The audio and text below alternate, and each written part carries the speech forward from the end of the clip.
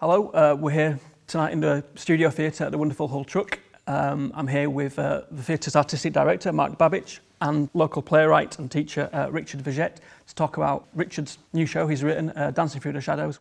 The decision to do the play was not only because I thought it was a story worth telling, and it was, it was a really beautiful story about a family who lived between in Hull from 1938 to 1945. Uh, not only in itself was that fantastic, but it seemed to me to represent uh, several occasions that the city has had to battle with stuff.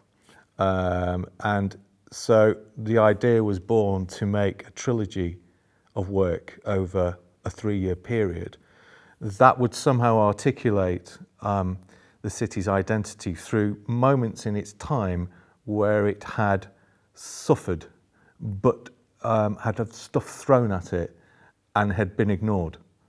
And yet the people who lived through that, um, as Richard was saying about the shadows of that still existed and the shadows of that then turned into the shadow of something else. Another industry died and then that, that died and then the shadow of that eventually leads us to where we are now, which is this wonderful thing of 2017 coming at us and then beyond that.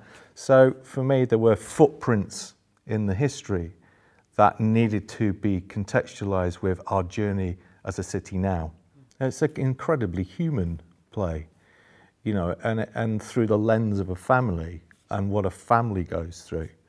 Um, it, he's managed to capture not only the wit, but the grit of the city as well, really.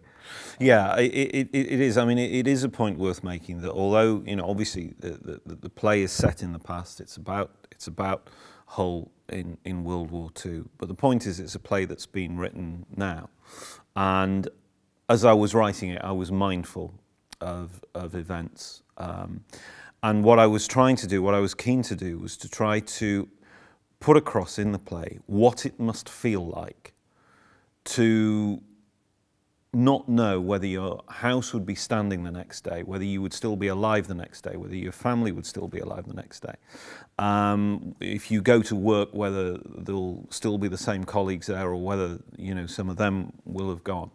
And that, that fear of, of the air raid siren, that fear of the sound of the planes going overhead, uh, and that is something that is very much in, in the present tense. Uh, and, and, I, and I do hope people make that connection. It is entirely deliberate. I am interested in those moments where things change for people, dreams change, aspiration changes, and, and I am interested in that, what happens to people in, in those different sets of circumstances. So in our production, we've woven the tapestry of the narrative with dance, period dance, period music. And so Dancing Through the Shadows is an attempt to uh, make a, uh, a story come alive in, yes, that was terrible in many ways, but there was also moments of great joy in there. So I think there's something in it for everybody. Um, I hope there is. I mean, that was, that's the idea. It's a, a, a, play that speaks to generations because there's a wide range of, of, of age in it. It's a play, as I was saying before, it, that has romance in it, it has tragedy in it, it has comedy in it, uh, and it's a play that is ultimately, what I hope anyway, is uplifting and inspiring about the ability for uh, the human being to survive the human being to thrive, um, and ultimately the human being to take care of each other.